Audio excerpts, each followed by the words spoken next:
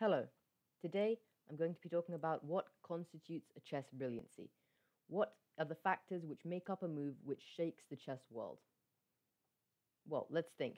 Perhaps the first thing that comes to mind is it has to be the best move, right? Well, even that, not necessarily. I'll give you an example. This is a game, or this is a position rather, that I read in the New in Chess magazine, an article by a guy called David Smerdon. He didn't give the names of the players, but he referred to them as Charlie Chumpster and Frank Fluky. So that's what we're going to be going with here. So, in this position, we have Charlie Chumpster as white with a completely dominating advantage.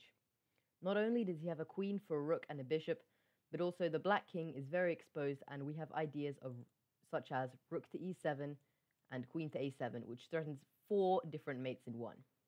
So, what do you think Frank Fluky played in this position? Well, it's obvious, isn't it? h5. Wow. So, what, what so the natural move rook to e7 was now played, and after king to c8 and queen to a7, it looks like black is busted. White threatens queen a8, queen b7, queen c7, and rook c7, which will all be checkmate in one move. However, here black goes rook to d1 check, sure, king f2, and it seems that after rook f1, king g3, h4, and king h3, black has run out of checks. Unfortunately, he did get a couple, but eventually you're not going to stop all of the different mates the white is threatening. Or are you? Rook to f3 check. Pow. The only move the white has is g takes f3, but unfortunately the humiliating bishop f1 is checkmate. Incredible. I was amazed when I saw this. But what's my point? Well, the move h5 is by no means the best uh, move in the position according to the engine, and in fact, it actually allows a mate in 6. Let's see.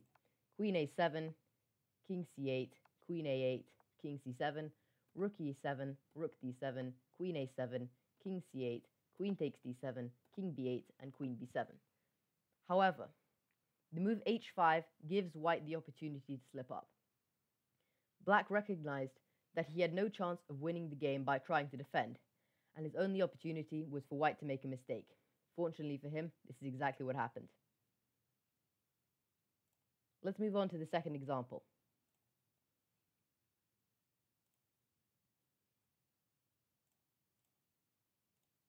Okay, this is a position from a game between Stefan Levitsky and Frank Marshall. In, I'm going to be talking about spectacularity. In this position, Marshall plays the move Get ready. Queen to g3. Absolutely incredible. Wow.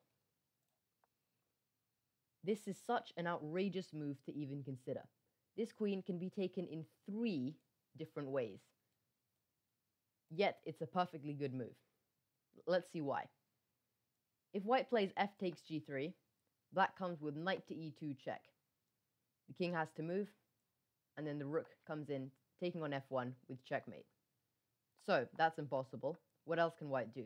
Well, let's let's look at eight take h takes g3. Again, knight e2, checkmate. The rook takes away the squares from the king. So, the only other way for white to take is queen takes g3. He has to take it because there's no other way to prevent queen takes h2 checkmate. So, queen takes g3, knight e2 again. King h1, knight takes g3, king g1, knight takes f1, knight h, g takes h3, and knight d2. Hang on a second.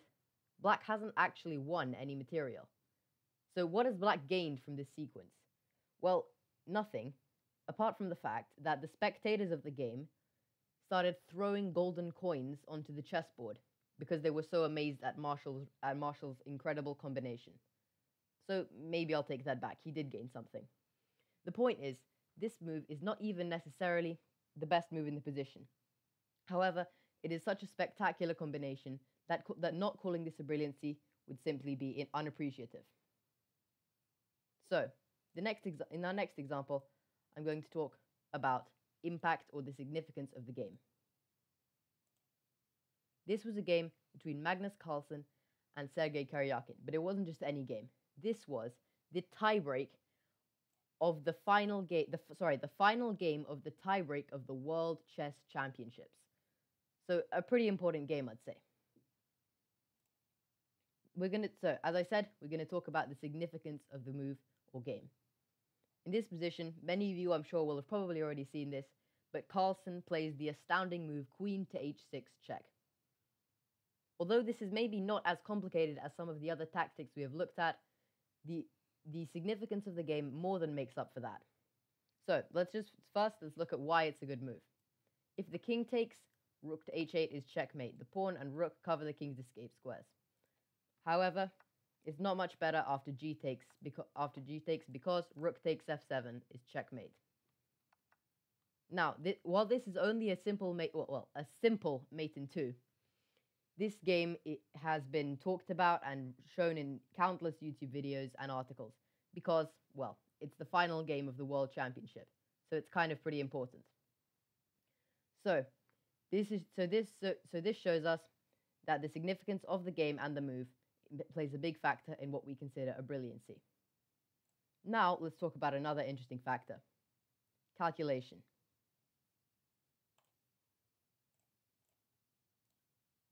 Let's take this position here. Many of you may know it as the Lucena position.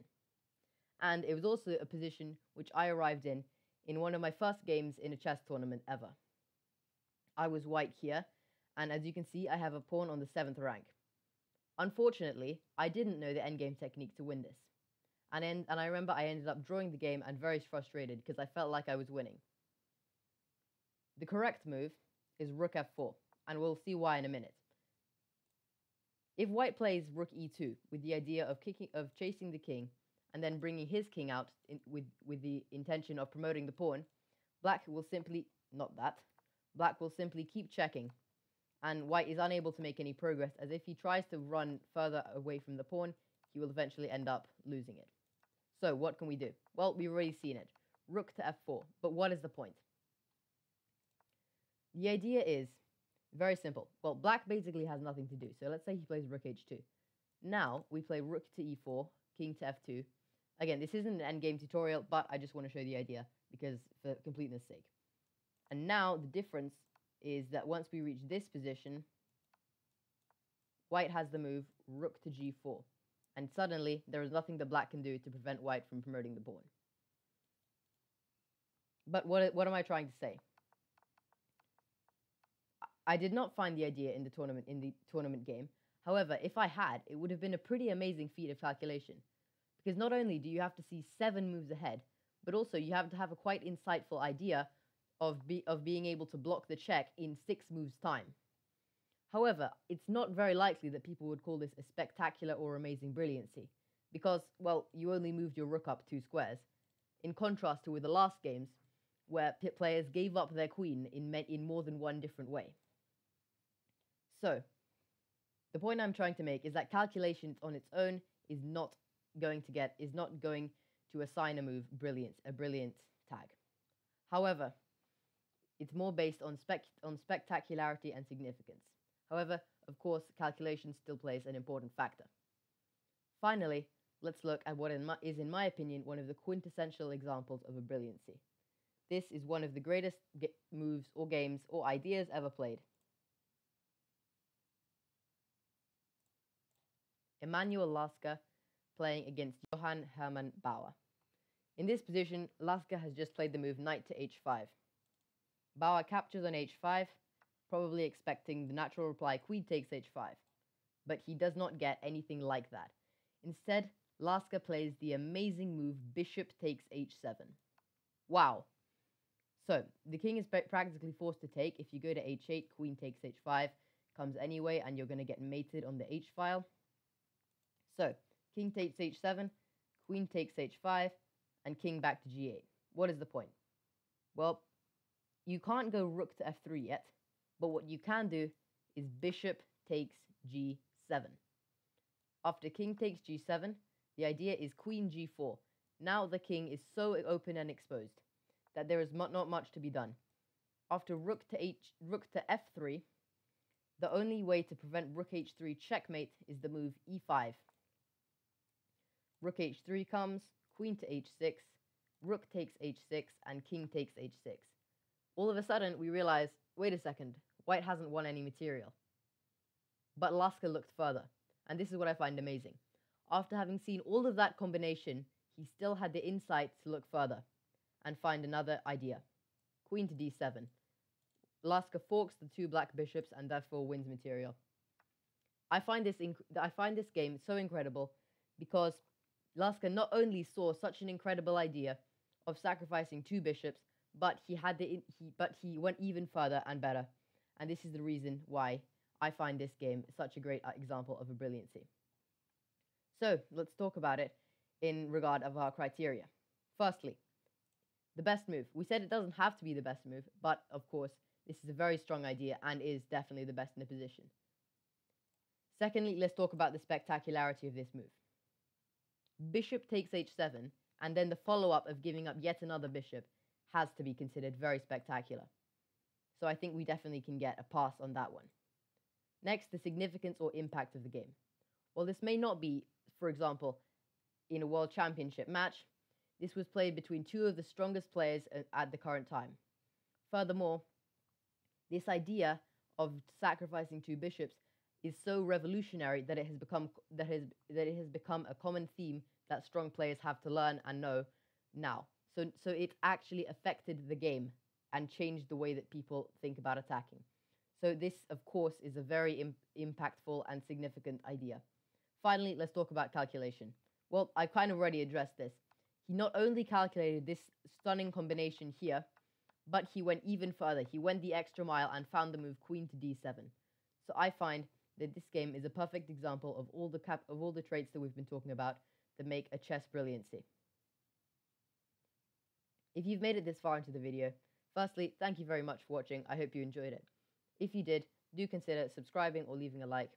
And also, if you have any any examples of brilliancies or strong or nice games that you think I could have included or that you just think are interesting, do feel free to talk about it in the comments. I'd really like that. And again, if you have any feedback, I'd appreciate that too. Thank you very much for watching. Have a nice day.